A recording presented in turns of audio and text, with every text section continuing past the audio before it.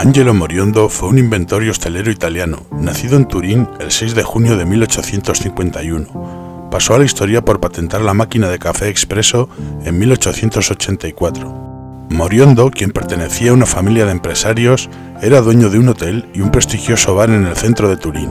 En el afán de obtener ventajas sobre su competencia, en un momento en el que el café era una bebida muy popular en Europa y en Italia en particular, se le ocurrió la idea de fabricar una máquina de café ya que, por aquel entonces, se dependía de métodos de preparación que requerían que el cliente tuviese que esperar entre 5 o más minutos para poder disfrutar de su taza. Moriondo pensó que si pudiese encontrar una manera de preparar varias tazas de café simultáneamente, podría atender a más clientes rápidamente. De esta manera, esperaba que se corriera la voz en el distrito comercial de Turín de que sus bares eran los propios para quienes las presiones del trabajo no les dejaban tiempo para pausas tranquilas. Su invento no tardó en llegar y fue presentado en la Exposición General de Turín en 1884, donde obtuvo la medalla de bronce. Se le otorgó una patente por un periodo de seis años, el 16 de mayo de 1884, bajo el título Nueva máquina a vapor para la confección económica e instantánea de bebida de café, método Angelo Moriondo.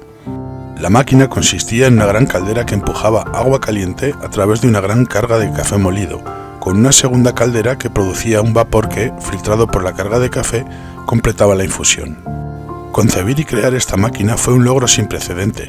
Sin embargo, Moriondo no hizo nada para comercializar la idea y dejó que el dúo milanés Luigi Becerra y Desiderio Pavoni modificaran su método y lo orientaran hacia el mercado industrial.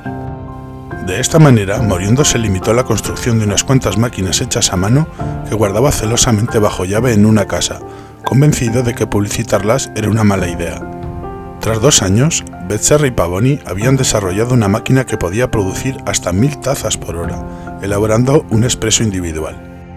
Moriondo falleció en Marentino, cerca de Turín, el 31 de mayo de 1914 y vivió cómodamente de sus negocios, siguiendo los pasos de la familia como empresario, pero sin duda podía haber sido más rico y más famoso si hubiera visto el potencial de lo que había creado.